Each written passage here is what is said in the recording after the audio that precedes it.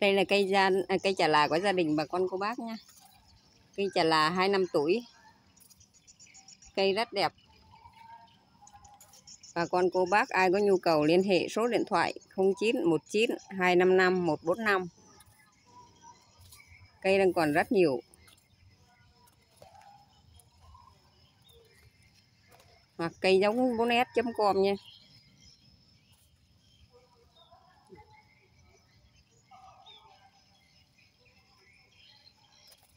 Chả là ăn quả đó, bà con cô bác ơi.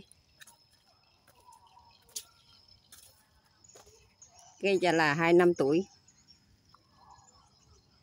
Cây rất đẹp.